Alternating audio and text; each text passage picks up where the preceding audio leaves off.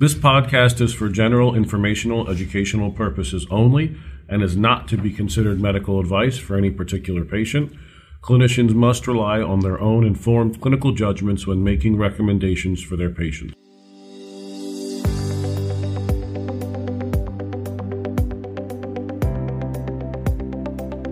Welcome, everybody, to another episode of PHM from Pittsburgh. I am still your host, Dr. Tony Tarchichi, a MedPeds trained pediatric hospitalist here at UPMC Children's Hospital Pittsburgh in the Paul C. Gaffney Division of Pediatric Hospital Medicine.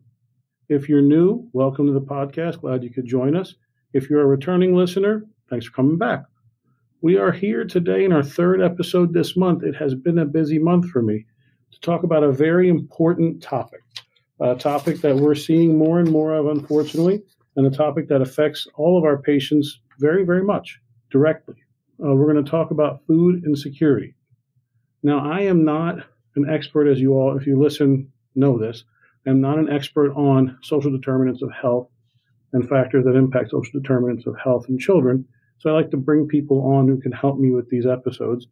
And I could think of no better guest than my guest for this week, Dr. Laura Panko. Dr. Panko is an assistant professor of pediatrics with the University of Pittsburgh School of Medicine.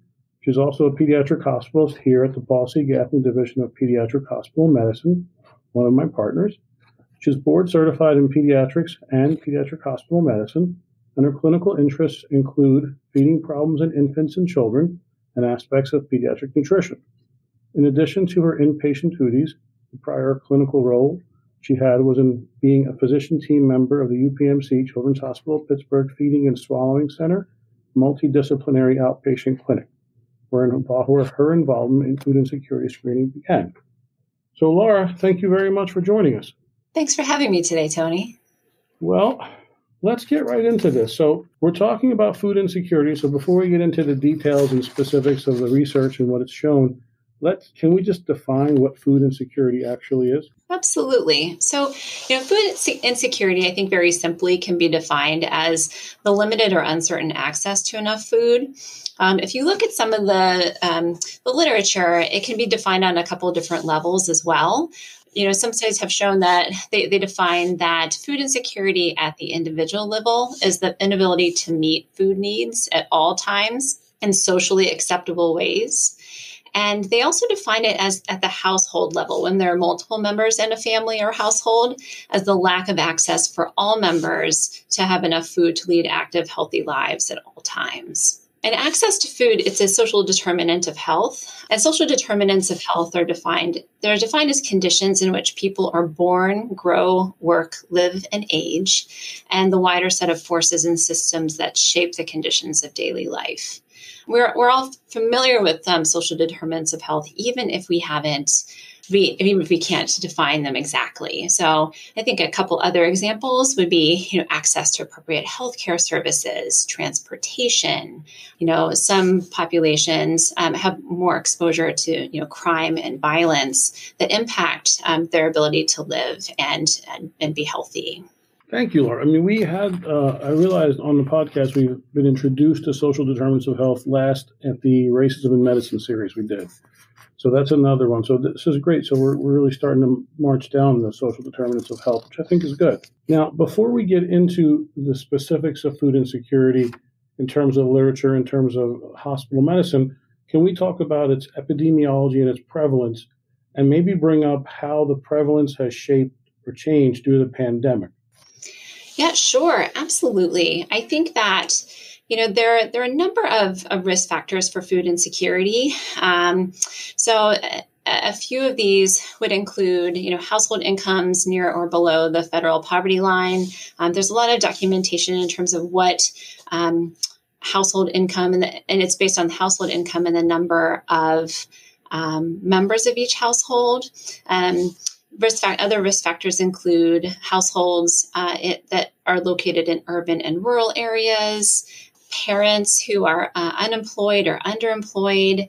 Uh, lack of insurance can also be a risk factor. um, medical illness or, or, chronic medical conditions, minority race, um, particularly individuals of African American, Latinx, and American Indian descent or populations who have higher rates of food insecurity. Then single parent households, too, particularly when the head of the household is female, are at risk for, for food insecurity as well.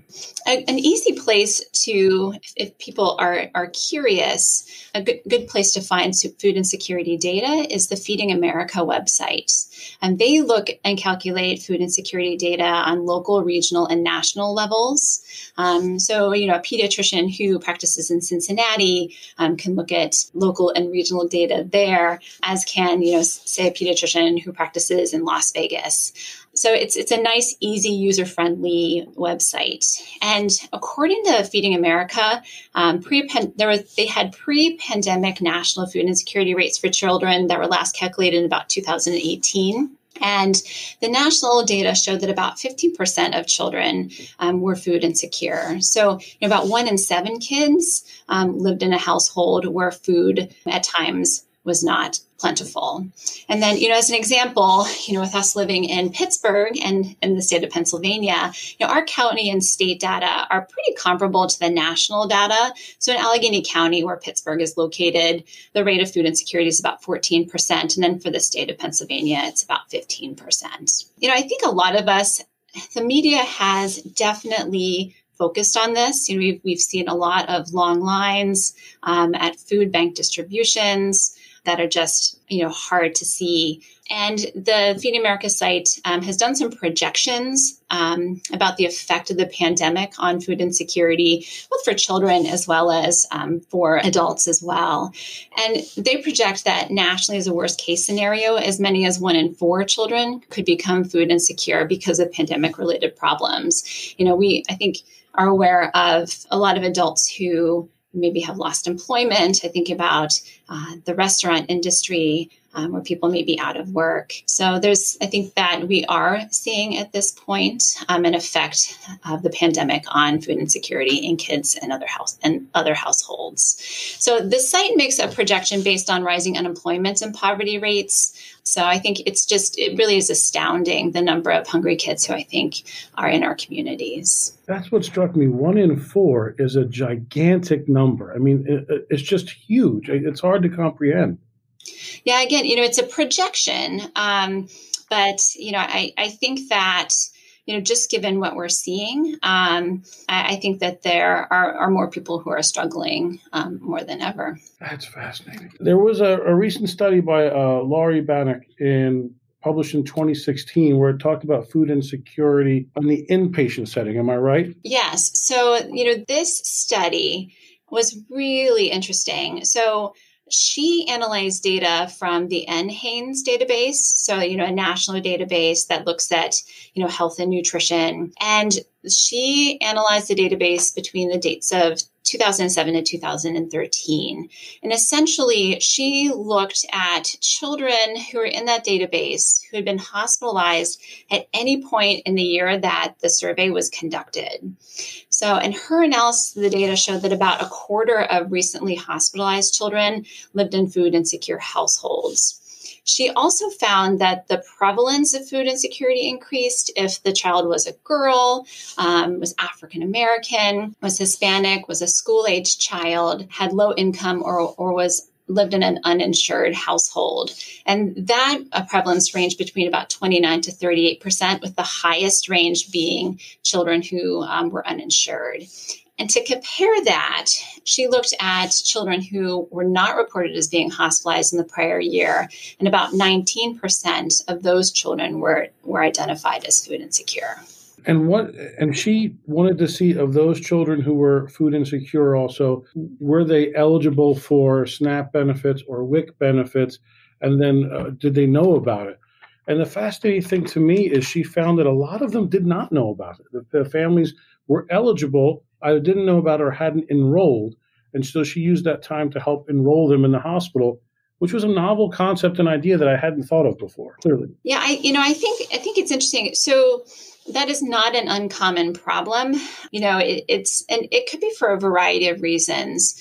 You know, there are a lot of steps for families to apply for SNAP and WIC benefits. And, you know, if a family situation may change. Um, so at one point, you know, they may not qualify or may not think that they qualify based on their income. And, you know, they, they also may not realize that, you know, potentially with a change in their social situation, they may be eligible for more benefits through particularly, you know, the SNAP program that may they may not be aware of. So I think just, you know, with some of the complexities of those programs, that may be one reason why families perhaps were not receiving the benefits that they um, were entitled to. And we'll probably talk about the benefits of SNAP and WIC closer to the end, but it's, it was a fascinating study and the first thing I had ever seen on inpatient medicine with food insecurity. But since we're talking about it, I'd love to talk about why we care so much about food insecurity, meaning what are the deleterious effects this can have on a growing child? Yeah, I think, you know, there are a lot of people who have studied this in the past. You know, I, I, think one of the things to realize is that there can be detrimental health effects um, for children that can start even before birth. So, women who experience food insecurity, you know, particularly during pregnancy, may have a higher weight or obesity prior, prior to becoming pregnant and during pregnancy, places them at risk for problems such as gestational di- diabetes and having children, babies who are born with low birth weight things that you see in you know early childhood late childhood with regard to food insecurity children may have lower iq scores. They've been found to have reduced school success and more behavioral problems. And then they also are at increased risk for mood disturbances um, you know such as depression or anxiety in later childhood and adolescence. And you know i think in terms of I think we always think, you know, as hospitalists, oh, is this a little bit more of an outpatient problem? Do our, our primary care colleagues, should they be, really be the ones who are focusing on this? But I think that there are some things that we as hospitalists may see in terms of the effects of food insecurity on health. So, you know, younger children who experience food insecurity may have an increased frequency of illnesses. They're more likely to be hospitalized. Um, in early childhood. And then, you know, looking more in the future, they are at higher risk for developing chronic disease in adulthood and have an increased risk for becoming obese. Though some earlier research may contain some confounders there. There, there's a really interesting study. I don't know if you want if you want to talk about. There's a study in pediatrics in 2019. Yeah, I appreciate you bringing that up because this is done by Margaret Thomas, Daniel Miller, and Taryn Morrissey called Food Insecurity and the Child Health, Pediatrics 2019, Volume 144. They looked at kids 2 to 17 years old, and after some of the eliminations they had for the study, they had about 29,341 kids, which is a, a big number. What I loved about it was in the intro of the study, they really kind of dissected out why they were doing it. They discussed how previous studies looking at uh, food insecurity and how it affected child health were simple regressions, which they felt are likely biased. But how and how much are they biased? Nobody can say. It makes it very, very hard. And that goes to what you were talking about, where food insecurity is a there's like an ebb and flow to it. Sometimes people make a little more money and have a little more food in the house, and sometimes they have less. And it all depends on what's going on. So, so they decided to do a propensity scoring method, looking at a very large, detailed database. Now, what I once I read that, I, I don't know what that is. But then they went through and defined it. So it's a quasi experimental method family which tries to mimic the context of an experimental design. So they made it as close to an experiment as they could. They compared outcomes among children who differ with respect to the household's food insecurity, but who are alike in all other observable ways. So these kids were the same age, probably the same sex, uh, same race ideally, lived in the same neighborhoods or the same areas. So all the other confounders they really tried to eliminate as much as they could. And they used the National Health Interview Survey, which is a very, very, very detailed database having a lot of information in it, making propensity scoring easier to do and possible to do. Now, these kids in these food insecure households, what they found was had worse general health and were less likely to be in very good or excellent health compared to their peers in food secure households matched up for everything else. And they said that they were two to three times higher to have increased ED visits, delay medical care because of cost and the need, but be unable to afford medical and dental and mental health insurance. And they were more likely to experience some chronic health conditions, including a lifetime diagnosis of asthma, undiagnosed asthma, eczema, skin allergies, and depression. And then they also quoted a recent study towards the end where SNAP participants, which is the Supplemental Nutrition Access Program, uh, or what used to be called food stamps, may reduce healthcare costs by as much as 25% among low income adults. So they say when you compare this with their data, it suggests that a cost benefit analysis of these programs on reducing food insecurity and related decrease in ED data. So uh, these patients go to the ED more. They did not find that they're admitted more. But to me, when I read this, one of the things that struck me was this is one of those studies that makes common sense. If you have a family that is having trouble affording food and having trouble making sure there's enough food in the house, I don't know how you're going to ask them to prioritize healthcare and getting to doctor's visits and picking up prescriptions. Sometimes albuterol, if they have asthma, can be pricey. I mean, it's not a cheap drug to have. So I thought it was a really well done study, but one of those that made, when it was done, made common sense. And those are always the hardest to do, those studies where you read them and they seem oh, that's they seem obvious, but to get to that obvious answer took a significant amount of very detailed work. Yeah, I agree. You know, it can be really hard when you're looking at uh, when you're trying to determine causality. So I, I, really thought that this was an incredibly helpful study to read too. You know, so as, as pediatric hospitalists, right? So when you when you you did a really nice summary of that article, Tony, I think that you know the the populations that I particularly think about in the hospital that I worry about um, with food insecurity are, you know, we, we see patients with asthma all the time who are admitted to the hospital, you know, so, you know, I, I think just thinking about that medical problem as a, as a specific example, you know, we are in our hospital, and I think in hospitals across the country, seeing a lot, a lot of adolescents with,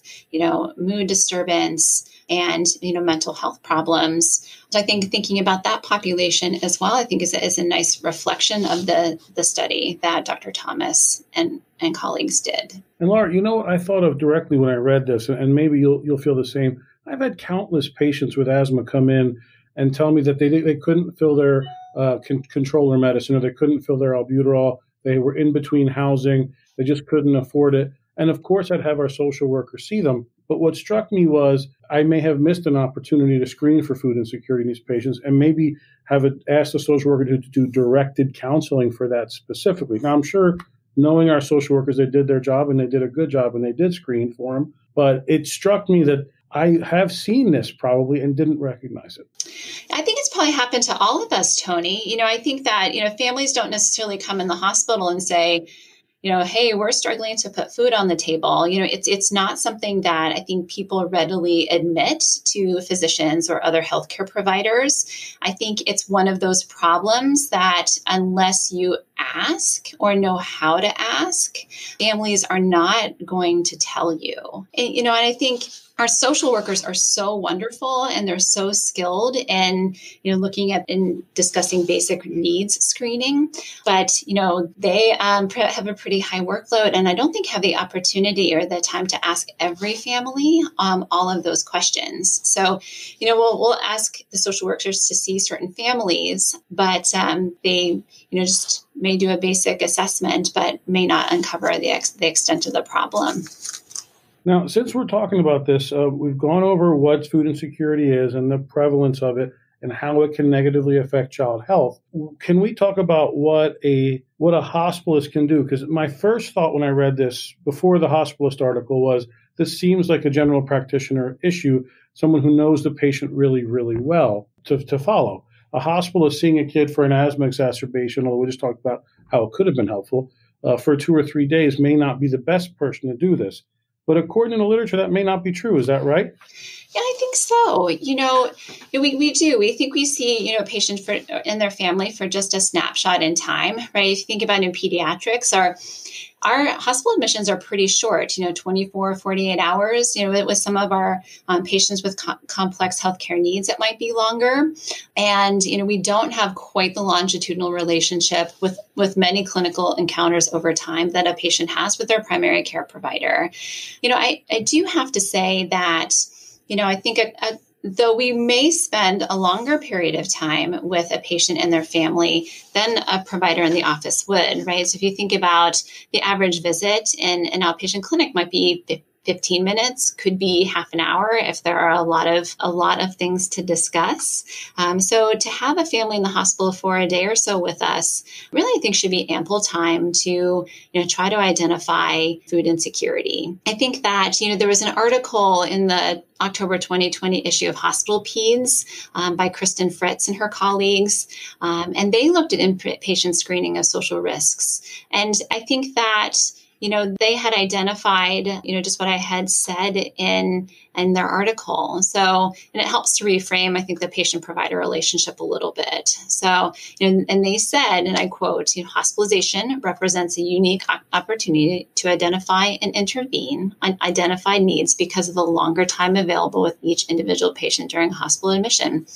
And I think that, you know, the other thing that is so unique in this period of time you know with the pandemic is that you know children are they're they're not being seen as frequently by their primary care physicians you know because of the you know the pandemic. So we've seen studies showing that the rates of um, immunizations have gone down significantly because families aren't seeking care and seeing their pcps and so i think that and then you know with telemedicine too for a while, while I think everybody was getting their bearings, there was less opportunity to, you know, screen for food insecurity that, that might have been done at uh, an outpatient visit.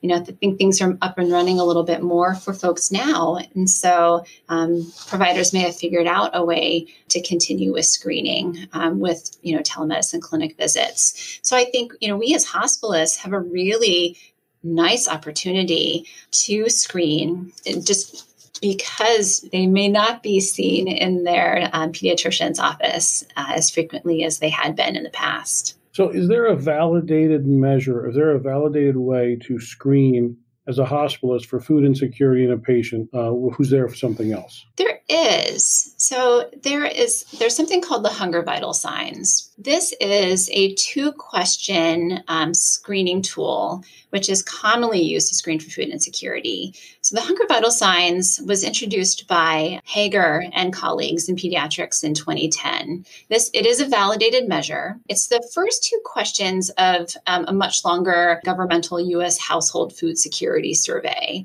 So, in Dr. Hager's study, the U.S. Household Food Insecurity Survey was administered to over 30,000 families with children um, between zero to three years of age in, in the household. The study was conducted in seven different urban areas in the United States. The clinical settings where the study where the survey was conducted included emergency departments and acute and primary care clinics they found that a little under 25% of families who participated in the study were identified as food insecure. And a positive response to either one of the hunger vital signs questions had a 97% sensitivity and 83% specificity, and was associated as well with an increased risk of fair or poor child health or developmental risk. You know, it should be mentioned that the hunger vital signs screen was validated only for low income families with children under three years of age. But I think that um, clinicians pretty broadly apply it to other populations, and it's it's widely accepted nationally. Um, the A, the American Academy of Pediatrics has adopted it as part of their food insecurity screening toolkit, uh, and it was also included in the um, AAP policy statement promoting food insecurity for all children in, in 2015 that was published by the Council on Community Pediatrics and the Committee on Nutrition. I will say that policy statement provides a really nice summary of some common government sponsored food, food assistance programs, so things like WIC and SNAP and school breakfast and lunch assistance programs. So uh, if anybody needs a little refresher on those, that it, it's a a very digestible article to read. And then the two questions of the hunger vital signs are the as follows. So the first one is within the past 12 months, we worried about whether food would run out before we got money to buy more. And the second one is within the past 12 months, the food we bought just didn't last and we didn't have money to get more. The screen can be conducted by asking families to answer whether the question is often true, sometimes true, or never true. But I think more commonly, the questions are administered with a yes, um, no as responses. But there was a study in 2017 by Dr. Makelarski and colleagues that showed there might be a little decreased sensitivity and specificity for a positive food insecurity screen screens when you ask for yes no responses. And I think maybe the reason for that is respondents have a little bit of less of an ability to hedge. So, like, yeah, you know, sometimes it's a problem when asked, you know, as opposed to being asked to answer yes or no, which are much more definitive answers. Now, one of the questions we all, we get a lot is uh, these screening tools are great in the research setting, but are they are they as effective in the real life setting outside of the research setting? You, can you answer that? I would say yes, you know, because it's it is a two question screen, so it is it's really quick to conduct. You know, there's there's a little bit of a debate in terms of the best way to conduct the screening. So there are some groups who feel that paper screening is really the way to go that you you will obtain a more honest response to those two questions if you provide a paper screen as opposed to a verbal screening. But i think that you know regardless of how the questions are offered i think you know really the way that they are offered is what will promote the most honest answers to those screening questions. You know so for example i think food insecurity for many people is associated with negative feelings. So so things like shame or embarrassment. And so I think that, you know, if you approach the topic with a lot of sensitivity and if you normalize the screening method, I think that that goes a long way to say to families, you know, we, we care that you have a problem, we want to help. And I think that that may, in the end, you know, promote more honest answers to the screening questions. And, you know, to contrast that to the that long survey, the household food security survey, where those two questions come from, you know, I think that is an 18 question screen, if I remember correctly, which would take quite a while. So I think that the hunger vital signs um, screen is is nice because it's short and it can be offered in, in, in, a wide variety of clinical situations. Every article I read talking about the screening said exactly what you said in terms of the sensitivity which with people have to approach this. Uh, make normalizing it, making a screening for every patient, uh, so we're not discriminating or differentiating between how a patient's dressed or looks or anything else, and just doing it with a sense of sensitivity and caring, and you're just more likely to get a better answer out of it. So I think that's wonderful. Now, uh, just to just to make sure I have this right, uh, that it's a 97% sensitivity and an 83% specificity, and the two questions are: within the past 12 months, we were worried our food would run out before we got money to buy more, or within the past 12 months, the food we bought just didn't last and we didn't have any money to get more. Is that right? That is right. Yeah, and I think you know, Tony, they they had found you know when you the reason why they ask over that period of time, over a 12 month period of time, and I think you had alluded to this before too, but you know, uh, food insecurity can be a really dynamic problem. So, you know, if a family is, um, you know, if they have if parents have jobs um, and the income is is pretty good, you know, they may not have problems with food insecurity, but you know, maybe a parent gets laid off and you know they're living paycheck paycheck to paycheck, and you know then it, it is a little bit it is more of a problem to keep food on the table. So um, so that's why we don't just say like hey in the past month have you had a problem? That's why that those questions are, are worded the way that they are. Now some of the other common barriers to screening besides the provider discomfort are uh, uncertainty of what, what to do if the family discloses a problem and unfamiliarity with maybe your local resources. So once we screen a family positive I'm, if i'm doing if I'm asking the family and they say yes to any of those questions, uh, what do I do with them? So, you know, I think that, you know, again, if, uh, you know, a family discloses to you, so, you know, clearly they're, they're trusting you, you know, to say that they're having a problem. So I think that, you know, the, the best thing to start is just to respond empathically.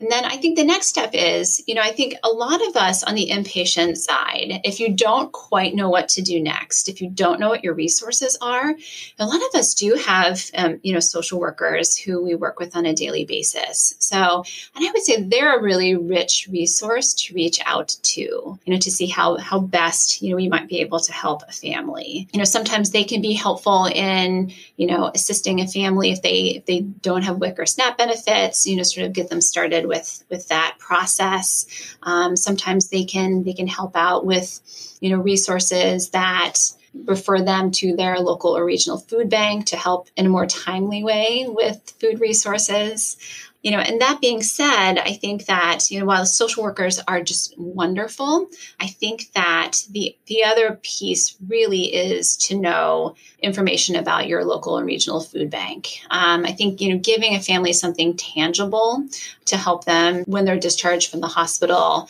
um, just providing some some information about where they can turn to next is, is helpful. Um, and again, the, the, Feeding America website that I had mentioned before, where we had talked about the statistics of food insecurity, they have a food bank finder on their website. So you just put in a zip code um, and it'll come up with the, the closest um, food banks for a family. Now, I, I promised we would get back to SNAP, and since we talked about food banks, uh, one of the articles for this podcast, the one hospitalization, are we missing an opportunity to identify food insecurity in children by Laurie Bannock in Academic Pediatrics, volume 16, number 5, in July of 2016. She does a really nice job, I think, defining the benefits of WIC and SNAP, specifically those programs. Uh, and she quotes WIC participation has been associated with a number of health benefits, including reduction in iron deficiency anemia and improvements in growth and overall health. And that's for younger children with. Then the SNAP, uh, which is the Supplemental Nutrition Assistance Program, they, she goes through some of the literature on that and she discusses that some of the studies previously done on SNAP were not very well done due to limitations of an, an endogenous selection and underreporting of participation. So those not as well done studies, she felt, uh, paradoxically had positive associations of SNAP with obesity, food insecurity, and poor health outcomes, which was a surprise. When advanced statistical methods were used, the SNAP program appeared to have a beneficial effect on food security and child health. And specifically, she quoted elementary age children who received SNAP showed improvements in math and reading scores. So these programs do help kids when used properly uh, with food insecurity, and then thereby other the other things that food insecurity affects, which again makes total sense. If you have a family with food insecurity and you make it easier and cheap for them to get good nutritious foods, they'll do better. One of the things you brought up that I wanted to quickly touch on is the programs around the country that do this well, because you brought up our social workers. It's a multidisciplinary approach. Uh, am I correct? So it's uh, community health resources, it's social workers, it's physicians, and it's nurses. It's not one group because this is such a large problem. It, there has to be a multifaceted approach to try to target it. Is that correct? Yeah, you know, it, it it's really true. I think that you know one one of the big things is that you you know is education. So in order for you know a, a robust food insecurity screening program to be set up, um, you know, say at an inpatient institution, you have to educate the staff. Um, you have, I think they have to understand the extent of the problem. You know, whoever is doing the screening, whether it's you know PCTs on admission or nursing staff or you know our wonderful pediatric residents, you know, I think they have to be comfortable approaching this uh, problem with patients and families because if they're uncomfortable they're not i don't think they're not going to ask the questions. And i think you know the other problem is if you don't know what to do uh, that also leads to discomfort. If you don't know how to help if you end up with a positive response um, i think people are less likely to, to dive in um, and address this problem too. So, along those lines, Laura, what are we doing here at UPMC Children's Hospital Pittsburgh to try to address food insecurity in our population? So we're doing a lot. You know, I think we are really lucky to have a very robust division of community health.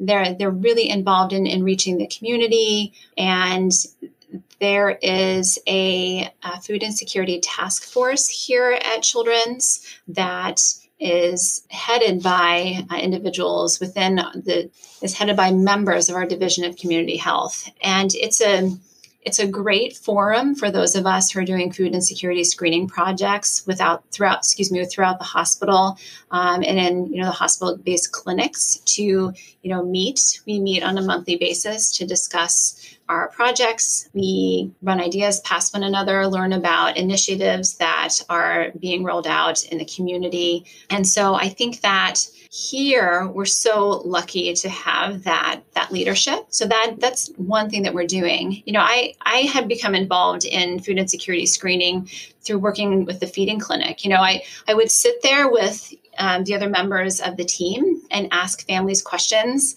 um, every day about how much, how often, you know, a child is eating or feeding. And we weren't asking anything about of the family about, are you having any trouble getting formula? Are you having, you know, is, is your child picky because, you know, you don't offer many different types of foods because you're worried that they're going, you're going to waste food if you offer them something new.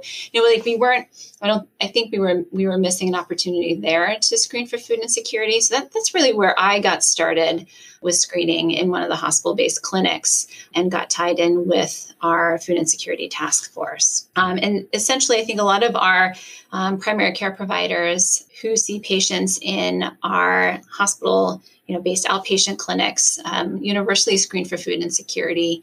Um, and there is screening that's done in, in some of our subspecialty clinics as well. Laura, this was great. Uh, this was all the questions I had to ask. Is there anything we missed that we should have covered?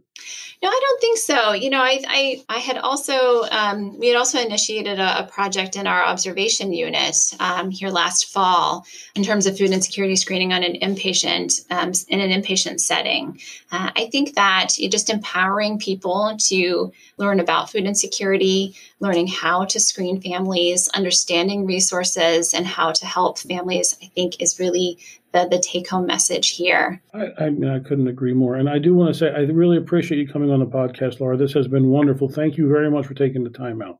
Oh, well, thanks, Tony, for having me. It's such an important topic, and I, I appreciate the opportunity to be able to talk with you about it. Before we sign off today, I just wanted to say a couple of things. Please bear with me. First of all, to all my regular listeners of our little podcast, I wanted to say thank you. I hope this year we've brought you content which is educational and helpful, and ideally in a somewhat entertaining way. We have made it a tradition here at PHM from Pittsburgh around the holidays to do a fundraising episode for a charitable cause. We're a CME podcast, so we're not allowed to take advertising or money for the podcast, but we can raise money for good causes. Last year, we raised money for the Pennies from Heaven Fund which is a free care fund at UPMC Children's Hospital of Pittsburgh, which assists families without health insurance and no means to pay their hospital bill. This year is so different in so many ways. This year has been a bear, to say the least.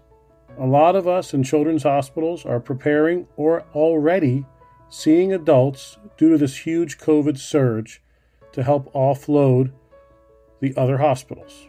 A lot of us have been working longer and harder than ever before under very stressful circumstances. We know this pandemic has increased the number of families with food insecurities. And we felt the best charity to highlight in 2020 would be Feeding America or your local food bank.